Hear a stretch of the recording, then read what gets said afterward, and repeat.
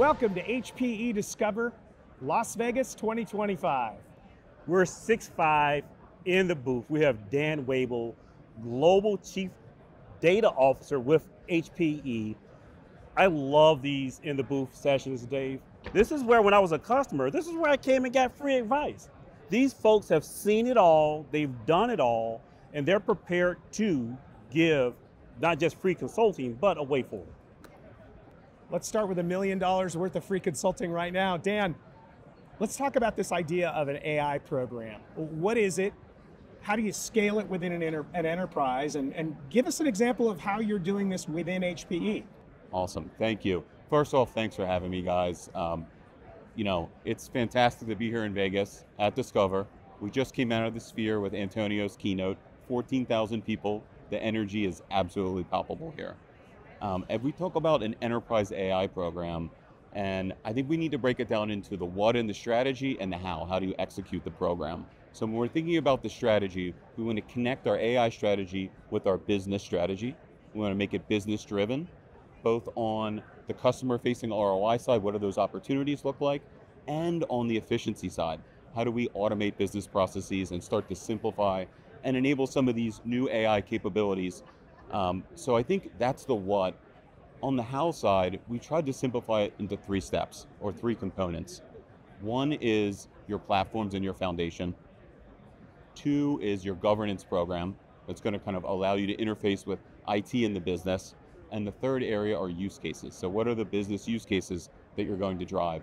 Each one of those kind of segments of your AI program we can unpack a little bit more, but we try to take um, kind of a simplified view of how do you build an AI program and what we've done here at HPE over the last several years. So Dan, last year around this time, everyone was talking chatbots as the primary use case for AI. We've all matured beyond agentic AI. Can you talk to us about the rocks? You know, you talked about, you know, these three pillars, but what are some of the rocks that large enterprises and, and, and customers in general are going to run into as they look to scale their agentic AI efforts? Yeah, there's a number of challenges, and, and I'll be I'll be very honest. We're all dealing with these challenges together. Um, I think the longest pole in the tent challenge is going to be the data. I think providing context to the models. The models are already incredibly powerful. What is it? Every six or seven months, their their capabilities are, are doubling. So Moore's law is two years. We're we're moving much more quickly than that. Um, but I think context is going to be the most important thing for the model. So that's both on the structured data side and on the unstructured data side. And you know, many organizations have spent time and invested in structured data. It's unstructured data where I think that's where we need to focus a little bit more and think about how we manage all of our knowledge? How do we manage, you know, thousands, tens of thousands, in our case, millions of documents, gain that context so that our systems, our AI systems, can be much more intelligent and informed and have that um, kind of knowledge and context going forward. So I think that's one of the, the big challenges we have or the big rocks with agentic. Another one is connectivity around APIs and interfacing with different legacy systems. So as a large enterprise, uh, we have an enormous legacy ecosystem of applications and platforms across the company. And we've now implemented um, a formal program around MCP, Model Context Protocol, which of course allows us to interface with these platforms um, through an agentic methodology. Um, and then what we're able to do is take the context and leverage that context to drive activity. So we're moving from chatbots, like you said, to actually execution. And that leads us to another area of challenge, which is risks, right? How do we manage risks in this world? Um, and that's where your AI governance program becomes extremely important. Uh, and I think, you know, we think about risk both in terms of regulatory risk and ethical risk. So on the regulatory side, uh, we've had structured data uh, kind of regulations in place for a long time, but now we have a new set of AI regulations, and they're fragmented across geographies. So it's very, very important to be able to understand end to end how your AI platform and how your AI ecosystem is running, because ultimately, all that is going to be regulated. You're going to have to be able to explain how things happen and why things happen. You have to understand what data is feeding these models, and the regulations could be different, right, depending on what geography you're operating in, so there's sovereign concerns. Uh, so there's a lot of complexity in, in all of this and unpacking it. We're learning as we go, but I do think you know governance is critically important and a big rock uh, for us. Dave, I asked him for rocks. He gave me boulders.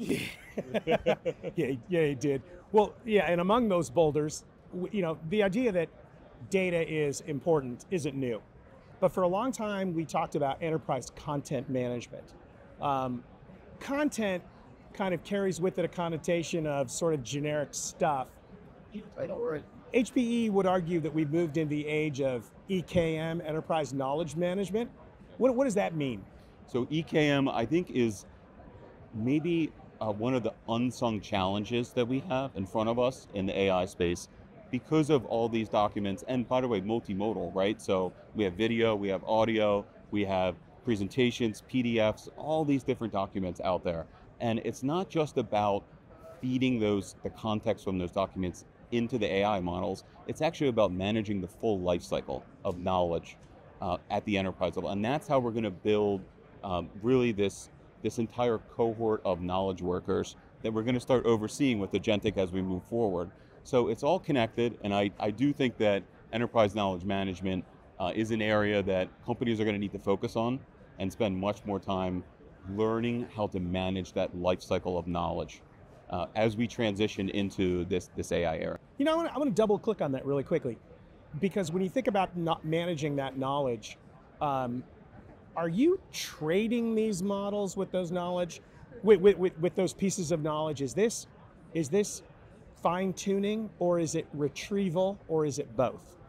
It really can be both. I think it depends on the use case. I will say though, I think what we're going to see as we move forward is more advancements in RAG capabilities. So um, we offer a product called PCAI, Private Cloud AI. You guys may be familiar with that.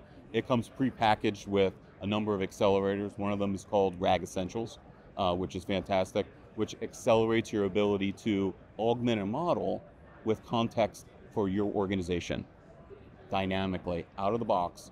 Uh, so that's pretty incredible. I think knowledge graphs are also going to be important for certain use cases, uh, which include fine tuning capabilities. So um, I think it's going to be a mix of methodologies. But I, what I've seen in the last probably three to six months is that RAG is really the lightest weight and quickest way to train your models on your context and your knowledge within your organization. Um, and it's probably also the more affordable way to do this versus building and training models from scratch is extremely expensive. And the benefits actually with the advancements in RAG, all that's kind of coming together. So I think RAG um, is going to be the operating system of agentic in the future. So I don't think you could have come to an HPE Discover in maybe the past 10 years and not heard the term hybrid cloud. For the first time I can remember, I'm actually seeing hyperscale cloud providers as sponsors to the show on the show floor.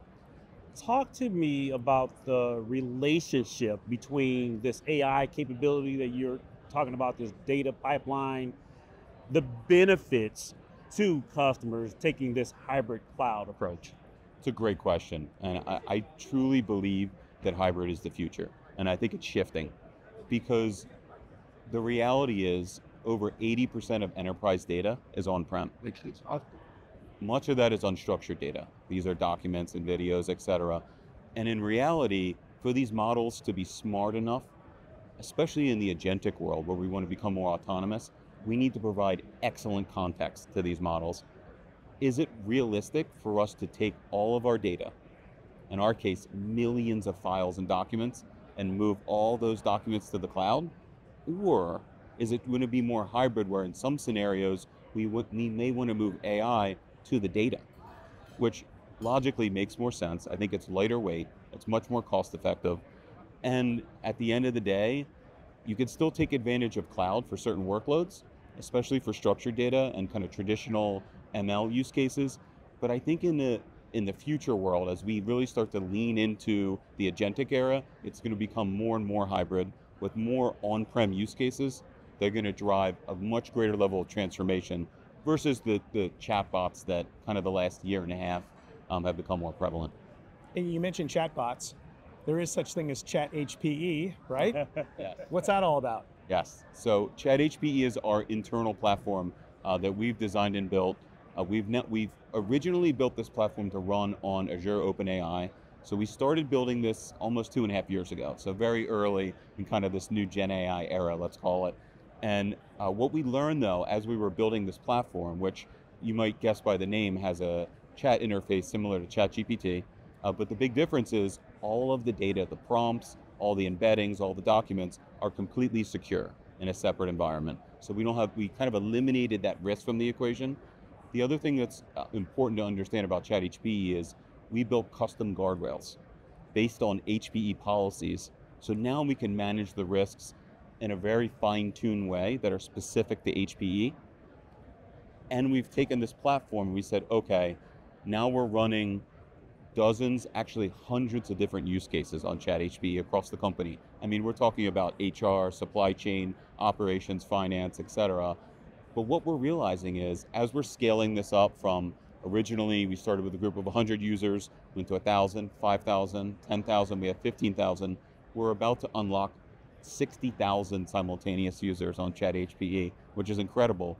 We're moving the platform to run on PCAI for a number of different reasons. And one of them is efficiency and cost management. Another one is security, right, around documents we may not want to move to the cloud.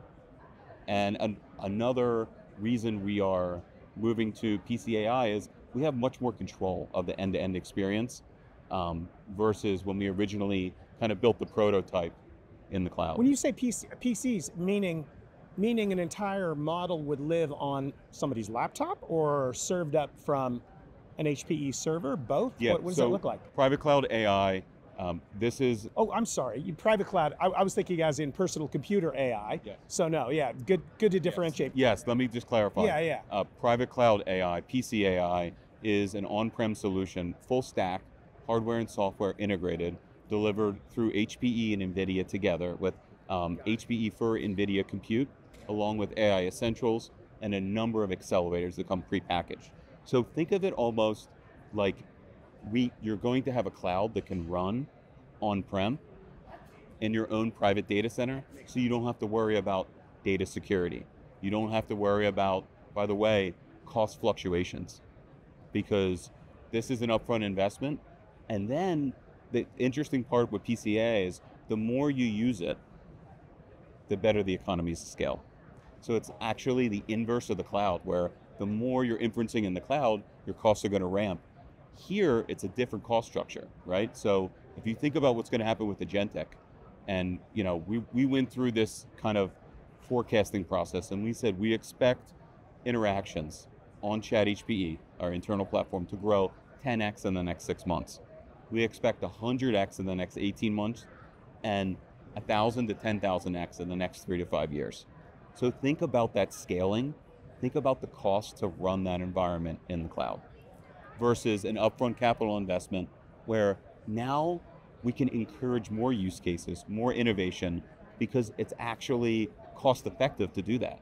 Versus in the cloud, eventually you start to thinking about token usage and managing those costs. So it's really a different way to think about it. And that's why I mentioned earlier, I think hybrid is the way of the future because we're not going to move millions of documents and files into the cloud. It's a little bit cost prohibitive at some point. Why not take AI and move it to the data as opposed to moving data to AI? So, Dave, it sounds like it's a lot easier to move AI than it is to move the boulder that's your data. You see what I did there? I, I do, and, but all I heard, frankly, was Keith Townsend was right about hybrid, and he's always been right about hybrid. So that's that's what I heard.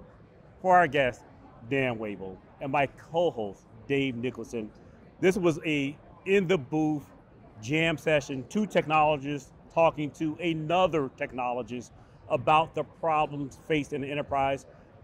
Stay tuned for more Six Five coverage. We're all over HPE Discover, helping you understand how to properly invest in your AI stack to get the business returns you're looking to receive. In Las Vegas, 2025.